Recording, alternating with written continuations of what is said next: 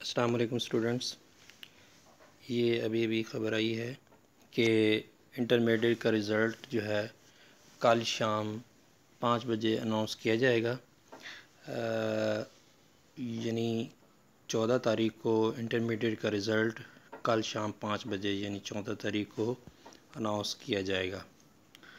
तो ये बेहतरीन ख़बर है, जिसमें जो है वो पॉलिसी ये की गई है ये हंड्रेड परसेंट श्योर है और इसमें ये कहा गया कि इंटरमीडिएट पार्ट टू का रिज़ल्ट कल मुरखा, चौदह अक्टूबर 2021 बरोज़ जुमेरात शाम पाँच बजे और मैट्रिक पार्ट टू का रिज़ल्ट मुरखा, सोलह अक्टूबर 2021 बरोज़ हफ़्ता शाम पाँच बजे शाये किया जाएगा। ये मुस्तका इतलात हैं कि शाम पाँच बजे जो है, कल शाम पाँच बजे रिज़ल्ट इंटरमीडिएट का रिज़ल्ट आ जाएगा।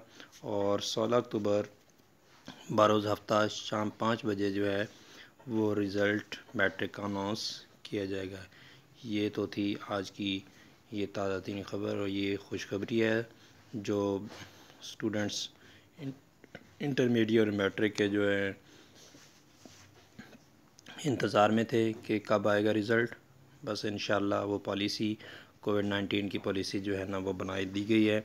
उसमें ये कहा गया है कि स्टूडेंट को पाँच परसेंट नंबर नहीं दिए जाएँगे और तैंतीस परसेंट जो है ना वो ग्रेस मार्क के ज़रिए से जो फेल हो रहे हैं सब्जेक्ट्स, उनको तैंतीस परसेंट नंबर देकर पास कर दिया जाएगा और तमाम स्टूडेंट्स को जो है ना वो पास कर दिया गया है और इसमें पाँच परसेंट की जो पॉलिसी थी वो ख़त्म कर दी गई है, पाँच परसेंट नंबर नहीं दिए जाएँगे और तैंतीस परसेंट के लिहाज से जो ग्रेस मार्क मार्क्स हैं, वो दिए जा रहे हैं।